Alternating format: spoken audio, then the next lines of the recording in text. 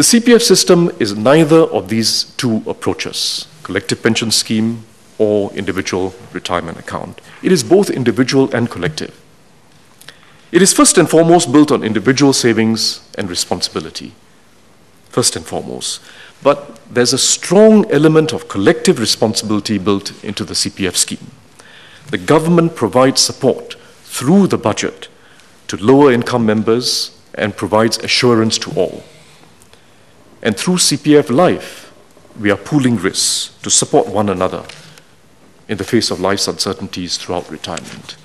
So there's a collective responsibility that's built into the CPF system, both through the government and through members pooling risks in retirement through CPF Life. The whole purpose of the CPF is to avoid the major disadvantages seen by the two schemes I spoke about, whilst incorporating some of their advantages. It is progressive, like most of the collective pension schemes, but it is financially su sustainable, unlike the collective pension schemes.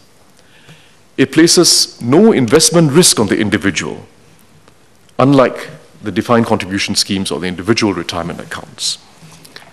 So let me emphasize this, that the reason why the CPF system is both progressive and sustainable, which is a rarity, the reason why it is both sustainable and progressive is because the transfers that take place in the CPF are from the government budget, not through generations from one generation, transfers from one generation to the next, or promises made to the current generation which eventually have to be funded by the next generation.